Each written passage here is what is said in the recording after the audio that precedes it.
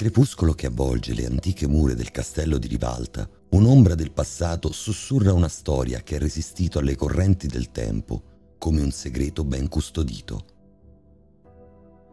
Si narra una strana storia, intrappolata tra le pietre millenarie, il mistero del cuoco fantasma, un'entità evanescente che ha trasformato le cucine del castello in un regno di esperienze culinarie dall'aldilà. Il castello di Rivalta è un gioiello storico immerso nella splendida pianura emiliana, poco lontano dal fiume Trebbia, risalente al X secolo, e proprio per questo offre un affascinante viaggio nel tempo. Questo imponente edificio racconta le sue epoche attraverso una maestosa architettura, testimone di una lunga e ricca storia. Le massicce mura del castello, corredato da un fossato e un ponte levatoio in pietra, si ergono come guardiani del passato, rivivendo le origini militari e il ruolo strategico che ha svolto nei secoli.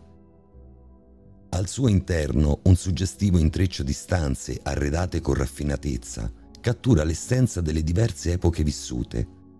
Affreschi, camini in pietra e soffitti a volta trasportano il visitatore in un'atmosfera intrisa di storia e fascino. La vista panoramica dalla sua posizione elevata abbraccia la pittoresca campagna circostante, offrendo uno scenario mozzafiato che si intreccia con la grandezza del passato. Ma il fascino del castello non è solo quello che si può apprezzare di giorno, perché si racconta che nel cuore del castello, quando cala la notte, si muoverebbe un'ombra enigmatica e misteriosa. Un'antica leggenda narra di presenze che sfidano il tempo, avvolgendo il castello in un alone di mistero in un'epoca lontana, quando il castello risuonava di risate festose e banchetti sfarzosi, nella rocca viveva Giovanni, un cuoco sopraffino che regalava ai nobili proprietari e ai loro ospiti esperienze culinarie indimenticabili. Tuttavia, in quella notte fatale, l'atmosfera festosa si trasformò in un oscuro dramma. Fu probabilmente la sua eccellenza in cucina a causare il truce assassinio.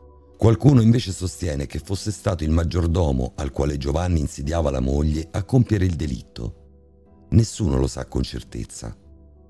Sia come sia, dopo l'ennesimo banchetto organizzato da Giovanni, il cuoco sparì e di lui non si seppe più nulla. Il corpo fu ritrovato dopo molto tempo in un pozzo e si scoprì che era stato sia strangolato che pugnalato. Ma sul colpevole non si ebbero mai evidenze. Tuttavia il suo spirito rimase intrappolato nel castello e da allora vaga per i corridoi e le sale del maniero, una sorta di cuoco fantasma che si aggira silenziosamente tra le cucine deserte. Nelle notti più buie si può percepire il tintinnio di utensili invisibili, il sussurro delle pentole che scorrono sui fornelli vuoti e il pestare del batticarne. L'aroma di pietanze gustose sembra leggiare nell'aria, un profumo di antiche ricette che pare provenire da un mondo oltre il velo della realtà. La leggenda di Giovanni, il cuoco fantasma, si intreccia con il destino del castello, un enigma irrisolto che si trasmette di generazione in generazione. Alcuni credono che il cuoco sia in attesa di giustizia, mentre altri ritengono che il suo spirito continui a cucinare, cercando la redenzione attraverso il palato di coloro che assaporano le sue creazioni ultraterrene. Il castello di Rivalta, testimone silenzioso di segreti sepolti, ospita il richiamo di questo enigma spettrale. Le pietre che compongono le mura antiche sembrano vibrare con le storie sussurrate del cuoco scomparso e del suo destino legato al regno degli spiriti. E le cucine, teatro di antiche delizie, custodiscono il riflesso di un passato avvolto nell'atmosfera incantata del castello.